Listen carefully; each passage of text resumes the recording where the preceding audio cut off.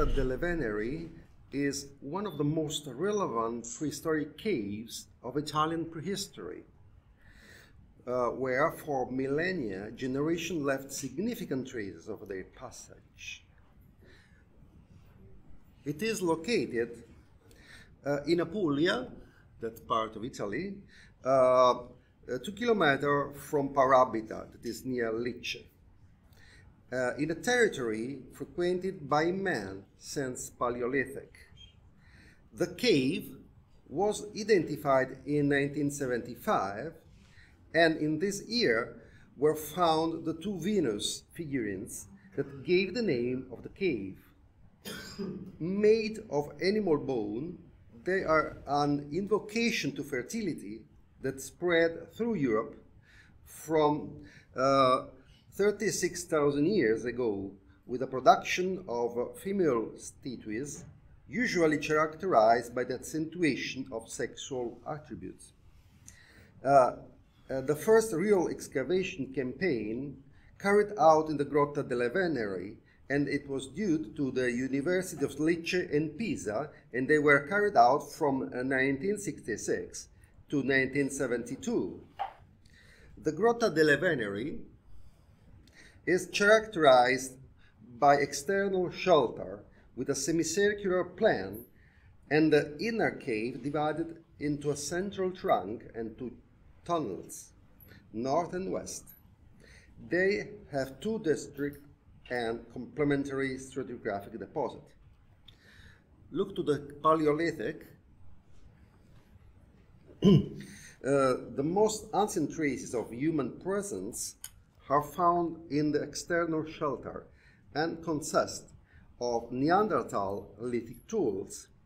The use of the Middle Paleolithic followed after the collapse of the Wold only at the end of Upper Paleolithic. In fact, the Epi-Romanellian Celtic tools and the metal remain and meal remains left by sapiens date back to this period, uh, as well as 500 stones and uh, uh, 116 engraved bones, which represent an exceptionally testimony of the symbolic universe of Paleolithic hunter-gatherers, those ones. In this period, between the end of Pleistocene and the beginning of Holocene, characterized by modification of the habitat, there is a change in the portable art of hunter-gatherers, a clear hint of a symbolic universe also in the process of modification, no longer orientated to zoomorphic representation by almost exclusively to the incision of geometric linear motifs on stones or bones. It's a syntax that is found through Europe, from Provence to the Black Sea, as well as in Salento. And the Grotta delle Veneri uh, is exhibit an, uh, uh, an exceptionally wild sample of media with a, a vast repertory of motifs, from bundles of lines to ladder motifs, to lattice to square bends. The inner part of the cave was used only from the Upper Paleolithic, when sapiens chose it as a burial place. Uh, the use of the cave continued also in the later phase of the Upper Paleolithic, as evidenced by flint tools of the Epigravettian age. A level of soil um, uh, strictly affected by illegal excavators sealed the Paleolithic occupation on both the outer shelter and the inner cave. It's characterized by the presence of numerous artifacts, pottery, flint, obsidian, and metal, used in activities related to the cult, and referable to a period between the Neolithic and the Middle Ages. Some of them were found together with animal offerings inside holes dug with cult intent. These holes, often modeled on the rocky bottom were filled in part once the ritual was completed with large stones. The excavation of one of these holes, radiocarbon dated, thanks to the collaboration with CEDAD uh, of uh, the University of Salento, to the second half of the fifth millennium BC, and determined the underlying burial of Upper Paleolithic, partially destroying it. Remains of both sheep and goats and ceramic fragments were found inside, and they were interpreted as an offer deposit by the Neolithic men in honor of individual perceived as their own ancestors. Indeed, the practice of laying down precisely part of boss in silos, holes, pits, altar finds numerous comparison in the recent and final Neolithic of Italian southeast. The pottery has been analyzed as a whole, and many pieces have been revised from the chronotypological point of view. The study has allowed us to establish the uninterrupted use of the cavity from the beginning of the 6th millennium BC until the Bronze Age, with different differences in terms of intensity and destination in different periods, as well as to identify some indicators of wide range contacts. Those include symbolic artifacts, container with shapes and decoration widespread in Sicily and in the regions of Eastern Adriatic, documenting the ability by the Apulian Salento communities to participate in the wide circulation of ideas and information that prevailed the Mediterranean from the, the 6th to the 2nd millennium BC. The ceramic complex consists of 17,000 finds. 86% are dated to the Neolithic, with almost all the typological elements referring to the 6th millennium BC. In fact, fragments refer to the impressed ware, scratched and painted ware, different ceramic styles typical of southeastern peninsula in the ancient and middle phases of Neolithic. About 200 artifacts refer, however, to the 5th millennium BC, namely the recent and final stages of the Neolithic.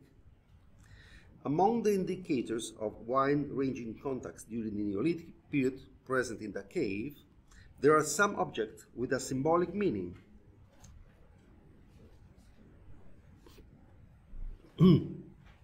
um, that show the sharing of an ideological patrimony common to the entire peninsula and Greek Balkan world.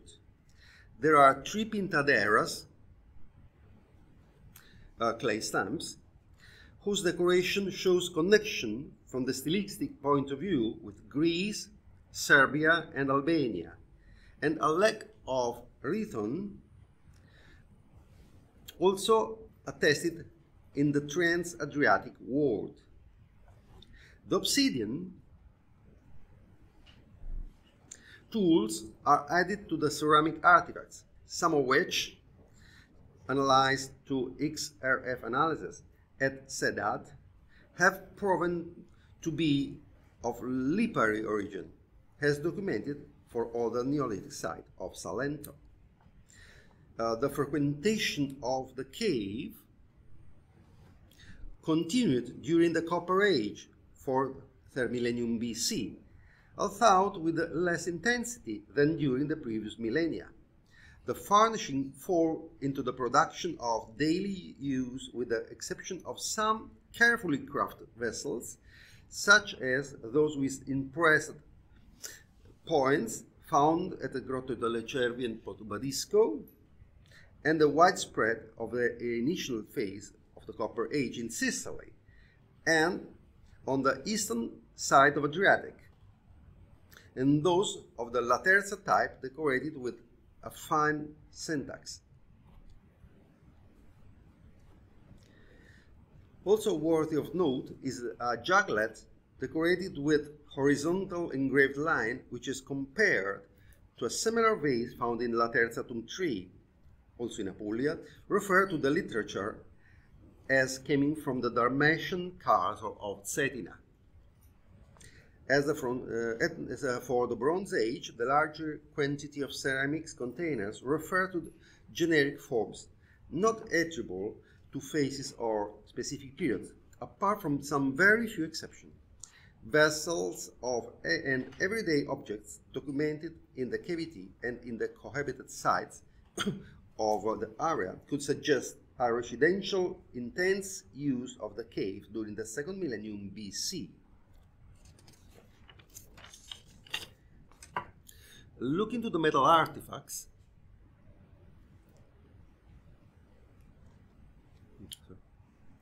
Okay.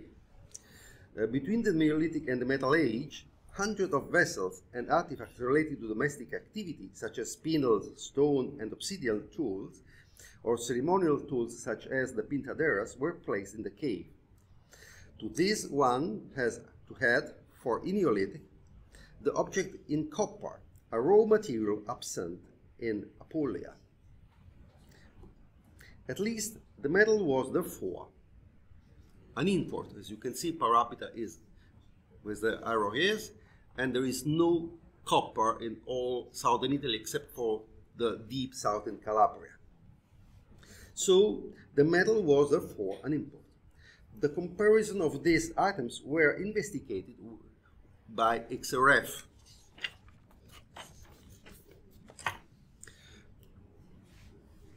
The triangular flat axe has a very archaic shape. It was analyzed by XRF, showing it was composed by almost pure copper with traces of arsenic, iron, and silver um, the long um, the long shallow hollow along each side is an indication of manufacture in a two-piece mold. Morphologically similar specimens came from Campegine, Reggio Emilia, Sgurgola, Latium, Rapolano, Tuscany, and uh, uh, Stankovci, Dalmatia, and they were attributed to the late Neolithic or in the very early stage of Copper Age. Very early uh, copper working in southern Italy were found in Pizzica Pantanello, Metaponto. A crucible for copper melting from an early Neolithic context dating to the 4420 uh, for uh, 2700 calibrated BC but anyway, the copper was obviously imported.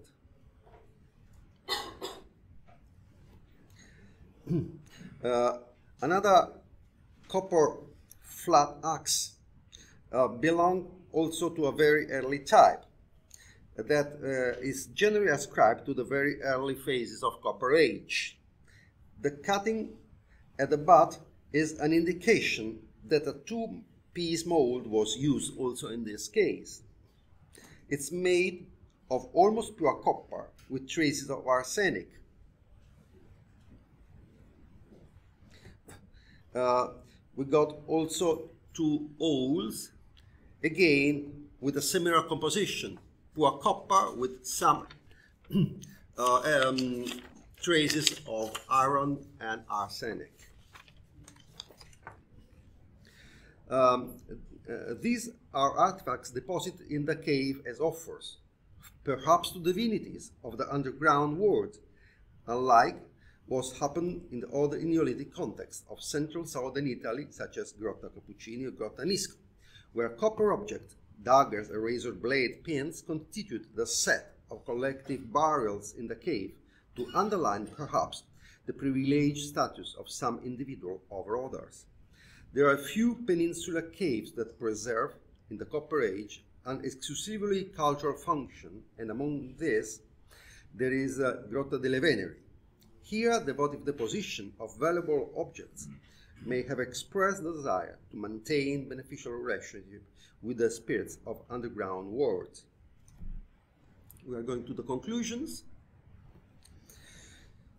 Um, Grotta delle Veneri has returned evidence of ability to participate in the wide circulation of ideas and information that pervaded the Mediterranean from the 6th to the 2nd millennium BC.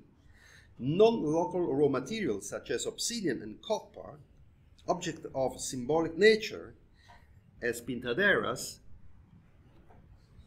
ceramic styles common to a large geographical area are evidence of how the cave, and with it the entire Apulia Salento, were able to interact with an interconnected world in which important role had the progresses in navigation. Thank you.